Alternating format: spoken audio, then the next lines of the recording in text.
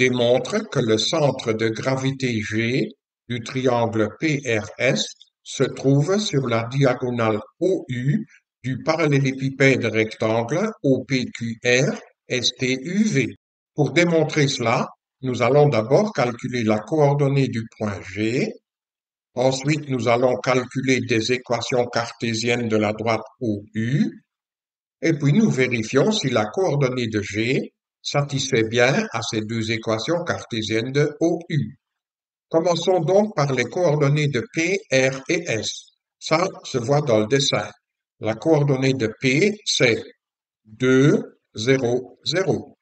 La coordonnée de R, c'est 0, 5, 0. Et la coordonnée de S, c'est 0, 0, 3. Donc, la coordonnée du centre de gravité du triangle PRS, c'est un tiers de la somme de ces trois coordonnées.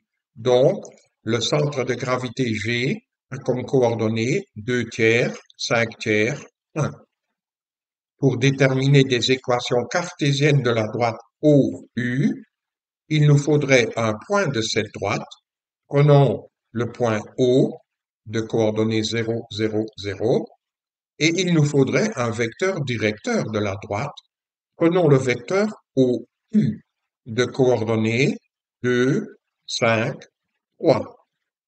Donc, on peut très rapidement rédiger des équations cartésiennes de la droite OU. On écrit toujours x moins sur égale y moins sur égale z moins sur. Derrière les trois signes moins on met la coordonnée d'un point de la droite, ici la coordonnée de O, donc 0, 0, 0, et comme dénominateur, on prend abscisse, ordonnée et cote d'un vecteur directeur de la droite. Le vecteur directeur OU a bien comme coordonnée 2, 5, 3. 2, 5, 3. En égalant les deux premières équations, nous obtenons 5x moins 2y égale à 0. Et en égalant la deuxième et la troisième fraction, nous obtenons 3y moins 5z égale 0. Donc voilà deux équations cartésiennes de la droite OU.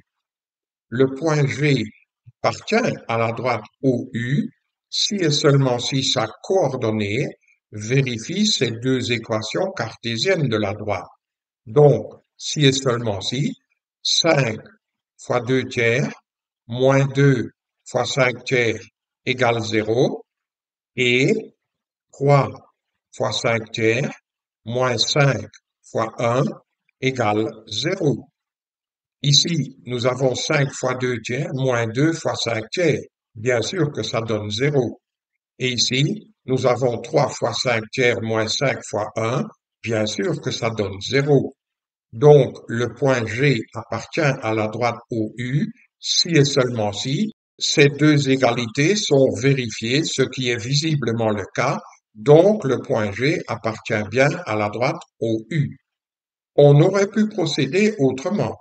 En fait, pour démontrer que G appartient à OU, il suffit de démontrer que le vecteur OU est un multiple du vecteur OG.